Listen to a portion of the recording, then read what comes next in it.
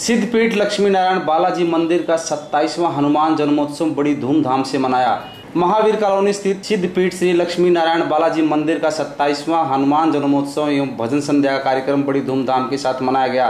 कार्यक्रम में मुख्य अतिथि के रूप में सोनीपत के पूर्व विधायक देवराज दीवान मौजूद रहे, जबकि कार्यक्रम की अध्यक्षता सिद्धपीठ श्री लक्ष्मी नारायण बालाजी मंदिर के पूर्व प्रधान सुरेश भारद्वाज ने की कार्यक्रम में सोनीपत के पूर्व विधायक देवराज दीवान ने सिद्धपीठ से लक्ष्मी नारायण बालाजी मंदिर को इक्यावन हज़ार रुपये देने की घोषणा की।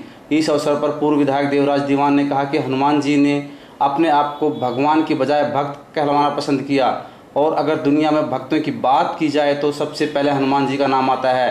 दीवान ने कहा कि बालाजी महाराज सब कष्टों को दूर करते हैं। मंदिर कमेटी के प्रधान मुकेश कुमार उर्फ़ भोला व पूर्व प्रधान समाज सेवी सुरेश भारद्वाज ने बताया कि इस सिद्धपीठ मंदिर की मान्यता दूर दूर तक फैली हुई है। यहाँ पर बालाजी महाराज सभी कष्टों को दूर करते हैं। बालाजी महाराज की भजन संध्या में राष्ट्रपति द्वारा सम्मानित सुलेखा, दिल्ली व सुरेंद्र तंवर विद्या और कल्पित तंवर ने समा बांधा भजन, जो कि बालाजी का ज़िक्र करेगा, बाला उसकी फ़िक्र करेगा और बालाजी सर पे हाथ रख दे आदि अनेक भजनों पर सभी झूमने लगे और बालाजी महाराज में खो गए। सुरेश भारद्वाज ने बताया कि इस कार्यक्रम में मुख्य अतिथि पूर्व विधायक देवराज दीवान रहे, जो कि इस सिद्धपीठ लक्ष्मी नारायण बालाजी महाराज से आशीर्वाद लेने पहुँचे। शनिवार को छप्पन भोग लगाकर प्रसाद वितरित किया गया।